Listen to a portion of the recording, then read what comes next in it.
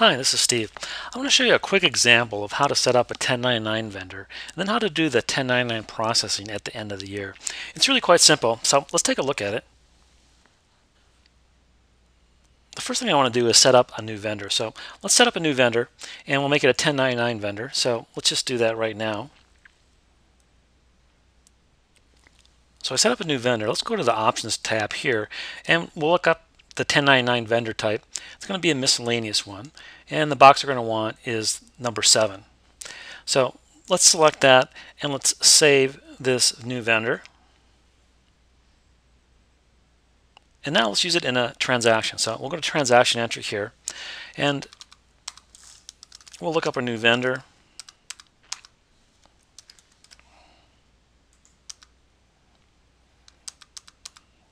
Let's enter a uh, purchase amount here and it will automatically default in the 1099 amount for $2,000 which is the amount of the invoice. If you want to change that you can. For example, say I was charged $2,000 on this invoice but 200 of it was for supplies and the rest was for services so $1,800 is the 1099 amount so let's just put that in there. So this is going to capture the 1099 amount as $1,800. So let's just post that. So now that's in my payables. So a 1099 amount is not going to become reportable until it is paid, especially in the year that it's paid. So let's pay that invoice now. So we're just going to go over here and edit a check batch here. Let's put a new batch in. We'll add the batch.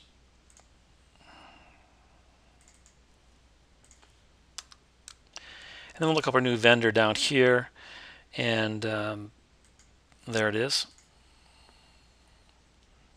So select this one to pay here and we'll just print the check. We'll print it to the screen and then we'll post it.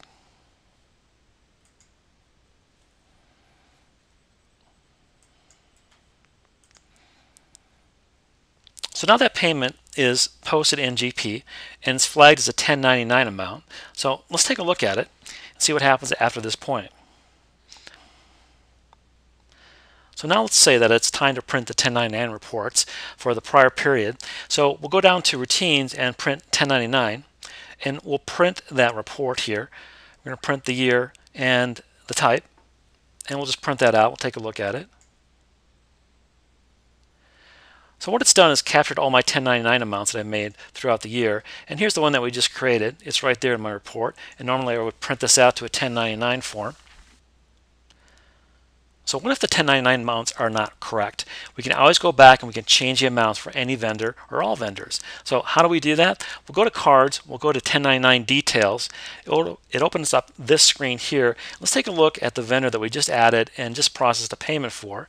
This will show the amounts, 1099 amounts for this particular year that are going to be reported for this particular vendor. So if we needed to make a change, we can merely go to this window and we can make the change. So here we have $1,800. Let's say that we made a mistake. We put an amount that was too large, so it's really supposed to be $1,500. So we just put that amount in. And that's all we need to do. So the next time that we run that 1099 report, it'll print out properly, and it's that easy to do. So setting up, processing, and reporting on 1099 payments in Dynamics GP is really quite easy to do. If you're not already using it, you really should because it's easy to do, it's easy to adjust, and it's easy to report.